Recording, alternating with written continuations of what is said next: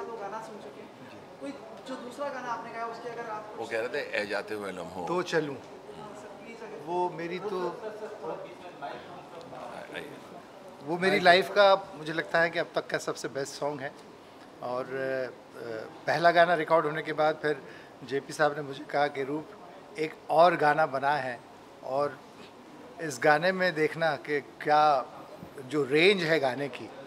तो मैं थोड़ा सा नर्वस था शुरू शुरू में और जब गाने के लिए गए, जब गाना सुना और जितना खूबसूरत मुखड़ा, उतना, उससे भी ज़्यादा खूबसूरत अंतरा अनुज ने कंपोज किया है और तो चलूँ, जो गाना है वो। मैंने उससे, गज़ल सिंगर से प्लेबैक सिंगर की जो बॉर्डर थी वो उस गाने से मैंने क्रॉस की। बॉर्डर पे। बॉर्डर नहीं तो लोग मुझे गज़ल सिंगर ही समझते थे और मुझे काम नहीं मिलता था उससे पहले।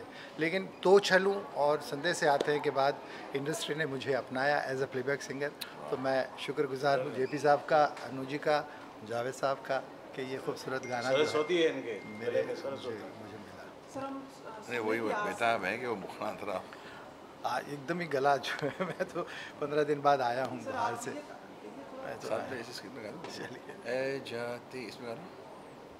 एकदम गला एकदम गया हुआ है। ए जाते मुझे वर्ड्स क्या ए जाते हुए लम्हो जरा ठहरो जरा ठहरो, जरा ठहरो। मैं भी तो- चलता हूँ। हाँ। जरा उनसे। ज़रा उनसे मिलता हूँ जो एक बात दिल में है उनसे कहो। चलिए ये गाना फिर सुन लीजिएगा। ए जाते हुए लम्हो जरा ठहरो जरा ठहरो। मैं भी तो चलता हूँ जरा उनसे मिलता हूँ।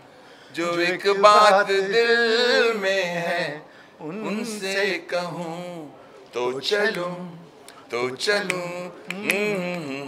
एक्चुअली अनु जी को गाना था। तो चलूँ तो चलूँ तो चलूँ। Thank you so much. Yeah, thank, thank you. Thank you. Thank you. Thank you. Thank you.